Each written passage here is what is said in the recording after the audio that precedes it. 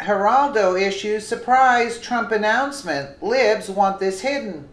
In most cases, the mainstream media and President Trump are not friends. There has been this back and forth game for a while now, and it always seems to lead to the media scrambling for a factless way to demonize the president. Geraldo Rivera had the chance to sit down with uh, on Fox News to talk about his recent trip to Puerto Rico following Hurricane Maria. Rivera explained that the press is extraordinarily biased against President Trump, having seen how he was treated in Puerto Rico and then seeing the press about how he was treated in Puerto Rico. It was almost an absolute 100% disconnect, Rivera stated on Fox and Friends. Following Hurricane Maria, Rivera had the chance to go down to Puerto Rico to survey the damage. During his trip, he was able to talk to President Trump and First Lady Melania.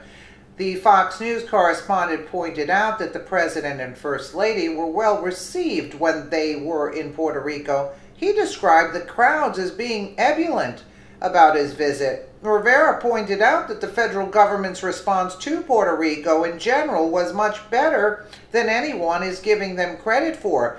The first responders and people still working tirelessly there are included in this.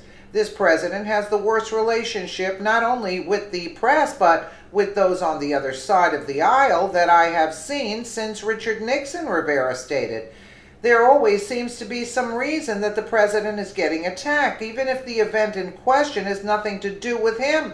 One such instance include the mass shootings in Las Vegas. The president was blamed for the shooting, though there was not one shred of evidence to prove this point. It was simply a narrative that the media ran with because it got them ratings he does not get the benefit of the doubt for anything. Anything he does is construed in the most wicked negative way possible, Rivera concluded.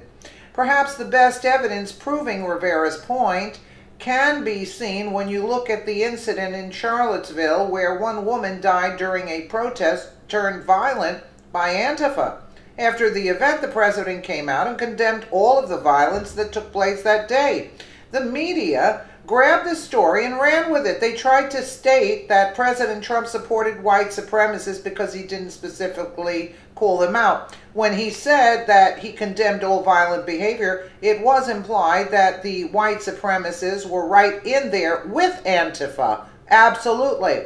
But this explanation was not good enough for the media. So they decided to try and conjure what he said in the most wicked negative way possible to again quote Rivera. Its behavior we've seen time and time again from the left, and in particular those in mainstream media, discrediting President Trump and making it appear as if there's dirt on his hands, is still the number one game in Washington. Thankfully, nothing is stuck, and our country continues to strengthen. Absolutely, he right on point. Absolutely. Let me know what you guys think in the comments below. And again, thank you so much for watching.